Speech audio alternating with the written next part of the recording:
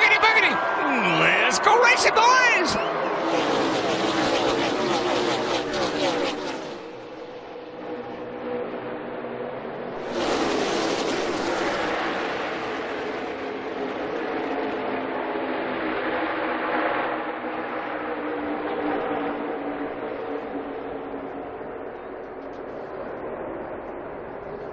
New leader is Kyle Busch going off into turn number three. He took the lead from teammate Denny Hamlin, putting the Gibbs Toyotas 1 2 with Eric Almirola third in his Ford.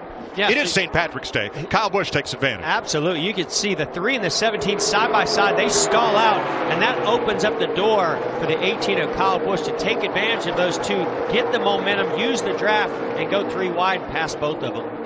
And you know what I was going to say is that Kyle Busch is loving this right now because he has a lot of these cars a lap down. As this run goes on, those fresher tires are going to start eating into his lead, so he can only stay out there for so long. Matt? Great runs. Great run so far by the 18 of Kyle Busch. You can see easy into his pit box. No chassis adjustments on the 18. Solid on the right side. Cam Waugh and Jeff Cordero going to work on the left. Lugs on and he's away. Great stop and a great that crew gets it done every week. Six to go in stage number one. Kyle Busch leading Denny Hamlin, who's closed it down to 1.8 seconds. Now we saw Ty Dillon. He cut a tire, drifted up near the wall, waiting for a gap to get down on pit road. Apparently he did not hit the wall, but there he is right in front of the Oh, leader. Whoa! Wow. Just when everything is going along perfect and smooth, something like that happens. And the leader will pit with just four laps to go in stage one, and a whole bunch coming with him. You're clear by one to go lane. 22, 17 cars. One back. He's uncovered. One back. Half back. Coming right to your bumper. Inside. Inside. 22 is going to go with you. Inside 22. Three back. Whoa, trouble, trouble. Crash, turn two. Big trouble. Ricky Stenhouse. Oh, that's not going to make his day any better than the one he was having right there before that restart. Caution waves, and we will finish stage one under yellow. I am curious. Some guys really struggling with the track conditions and handling today. Things seem to be going well for you. How are you finding it?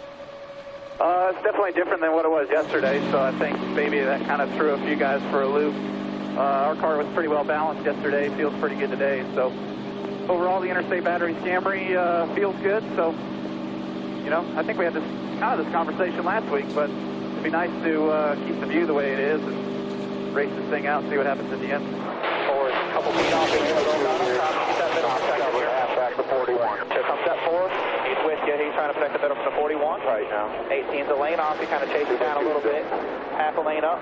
Two by two. One 18. back a lane higher. Half back a lane higher. Oh, half, half, half, half, half, half, half, half. You're clear, clear, clear, clear, clear, clear, clear, clear. He's going to look. Back to right rear. Back inside there. Watch him. 18.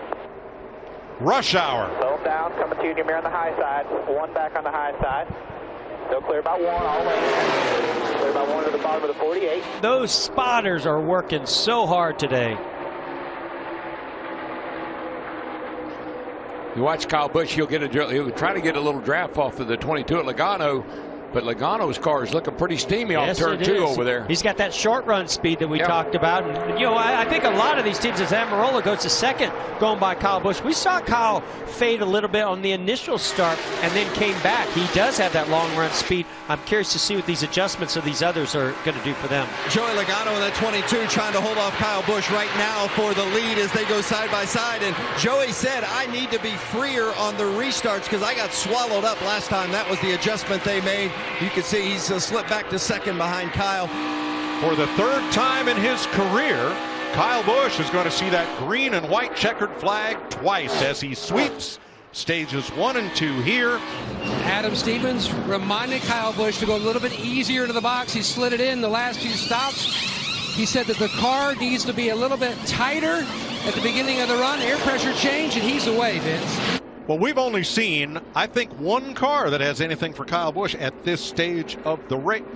Ho, hold the phone. Kyle Busch, too fast on pit road, Wow. exiting. Wow. Plenty of, plenty of laps left here, man. A lot of the guys on the tail end of the lead lap are hurt. We'll get back up in the top 10 here in a handful of laps, get a couple late cautions, and back right back in it. If there's any car and any driver that can get back up there, it's uh, us. Got to pace ourselves. Can't do it with a broke car. Kyle Busch is going to restart. It looks like 17th back there with Denny Hamlin. Clear about two. Whatever you need here. You're four wide. Four wide. Go top side. All in there, 24 on the bottom, clear low. Good. 18 The half four, back on. four bottom, four bottom, three bottom. Wow, did you see that move by Kyle Busch? I did. I was pointing right at it. So only four drivers have yet to stop among the lead lap cars. Kyle Busch, Chris Buescher, Matt DiBenedetto, Ricky Stenhouse. Well, what's going to be really interesting here is prior to that sequence, Kyle Busch was about 8.62 seconds back to our leader, Brad Keselowski. Now, Brad and all those other leaders that were ahead of Kyle Busch, they're on fresh tires. So, how long do you stay out there, Larry? Yeah, I think, Jeff, they've made their bed. They have to lay in it now. They've got to run this thing as far as they can, which is probably another six to eight laps. And this may bring the caution that Kyle Busch needs. If he gets Wow. a caution, he's going to bring everybody to pit road, but they've got to run it out. Bubba Wallace in trouble now. The caution would fly if he puts debris out Oh, on the every- racetrack. Yeah, there's debris everywhere. and there it is. Caution is out. Stay ahead of them. Talk about the luck of the Irish. I was worried about that after he got that speeding penalty, but I feel better about it now. He smoked it into his box. They're already over on the left side, Mike. Big dilemma between Kyle and Adam Stevens. A little bit of trouble on the left front getting the lugs there by Cam Waugh. Just how much to adjust this 18 car because of where he'll be in traffic. He knows it needs a turn better, but he was worried about being so far back in dirty air. Be 31 laps to go as they take the green flag for the restart. Ryan Blaney's teammates not doing him any favors, giving a huge shove to Kyle Busch to take over that lead. But look at this move by Keselowski Yeah. to the quarter panel of the 18. He gave Busch a shove to create some clean air on the outside. They're gonna they're gonna team up on it here. You got the two, the 22, and the 12 right back here. Kyle's gonna have his hands full with these guys. Big move by the four. Getting a big shove from the 11 of Denny Hamlin to get to the rear bumper. The 22 going to the outside. Three wide. Boy, I haven't seen Kyle Busch down that apron all day long. He's been rim riding most of the day, but that, that We was where he went that time. Top Roger eight. Penske has long said no team orders. Just don't take each other out. Well, Well, they're they're working on both of those things. better get on it. Better get on that radio, Junior. Roger, uh, they get a little close. And Kyle Busch is coming fast while these two are running side by side.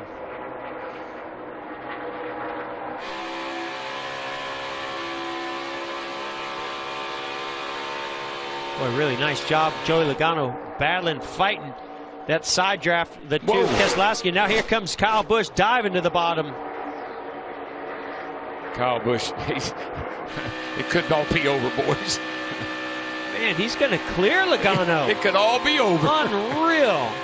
That just shows you how good that race car is. Yeah, it took him a lap or two to get his tires a little bit- air pressure built on the tire, but once he did, he took off. Coming to the white flag. One lap to go. Sponsored by Credit One Bank. For Kyle Busch, 2.4 ahead of Joey Logano. So you got the white flag. Now all you want to do is see, see clear sailing in front of you, no lap cars, keep it out of the wall, make sure nothing else goes wrong, no vibrations. And you got a two and a half second lead. Use it. This might be the slowest lap that Kyle Busch runs all day. It day. would be for me. I know that. Quarter, quarter. I'm doing their very bottom. Between three and four and headed for home. Kyle Busch in his Joe Gibbs Toyota is going to win his 53rd race in the Cup Series and hit his magic number 200 in Southern California. Awesome race car. Thank you, thank you, thank you. All I do is win, win, win, no matter what. Can you imagine if I could have gotten Vegas and yesterday? How many in a row? How many? He's feeling confident. Joey Logano finishes second, 2.3 back. Buddy, when I say uh, thanks for letting us be a part of it, man, you are the best. Brad Keselowski third, four seconds back. Kevin Harvick, nine seconds. And Ryan Blaney, nine seconds back. They're the top five. And Kurt Busch is denied that top five finish. He ends up sixth in his Chevrolet. Yeah, but Mike, did you hear that the confidence that that crew has in their driver, uh, Kyle Busch? I mean, just uh, thanking him for letting us be a part of this historic day. And today is a historic day, any way you want to look at it.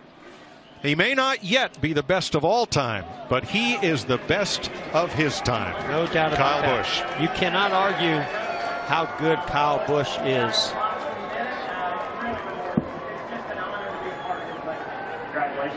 Joe Gibbs' crew has the flag for 200 victories across NASCAR's three national series Trucks, Xfinity, and the Monster Energy Cup Series.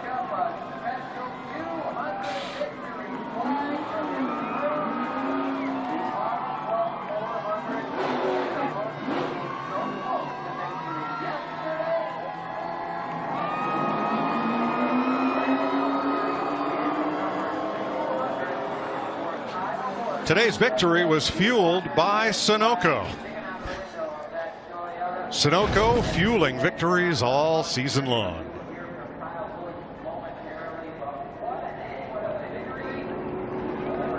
It was never a question of if, only when. And he said it on the radio. I mean, he has been on a heck of a roll. Just knocking down wins, whether it be Xfinity, Truck, Cup. I just said it. What if he hadn't had a problem at, Fa- at uh, Vegas? Could have been. We could be talking about one every race. 53rd Cup victory coming in his 503rd start. Second win of the season and this year's first repeat race winner.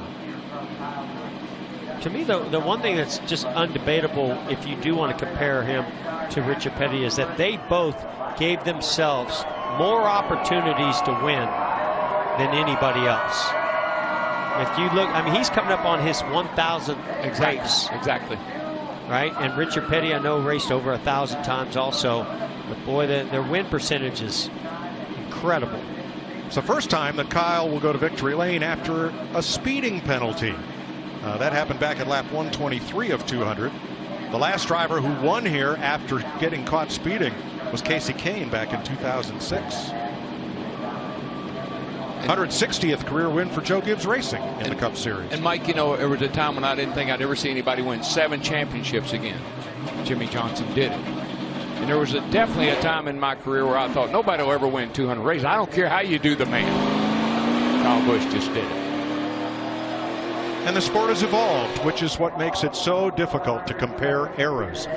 Well, and now I think what we're going to talk about, and you sort of mentioned it and alluded to it, Mike, is that 100 number. As he starts racking up these cup wins like he has the last two weeks, and he mentioned it himself when we interviewed him post race last week, he talked about, I want to get to 100. Well, if he keeps at it like this, he won what, eight races last year? Right. This is already two this season. He might get there. Kyle Busch out of the car, raises the flag, Oh, boy. and waves it for the fans. Oh, buddy.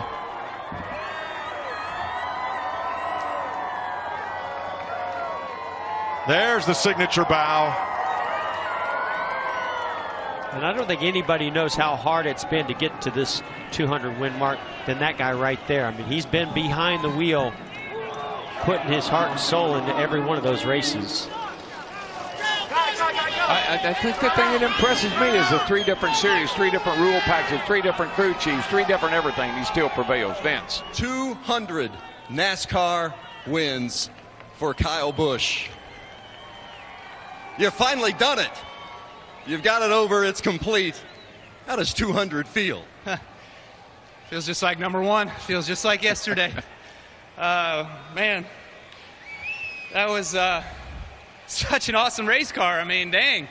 This Interstate Batteries Camry was awesome today, and um, I'm glad we put on a heck of a show for all these fans out here in California at Auto Club Speedway. And you know, it takes green to get in victory lane today. Today's St. Patty's Day. Come on. So all the rest of them guys were at a disadvantage. I knew that all day long, and uh, this Interstate Batteries green machine was flying today. So um, just awesome, just awesome. And to win 200, I mean, whatever it means, it means a lot to me. It means a lot to all my guys, everybody at Joe Gibbs Racing. You guys are all the best.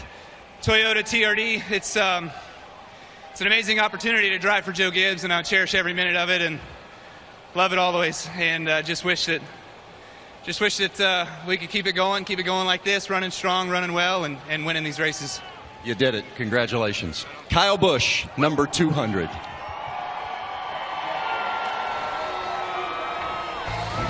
Rowdy Nation will have a lot to celebrate tonight.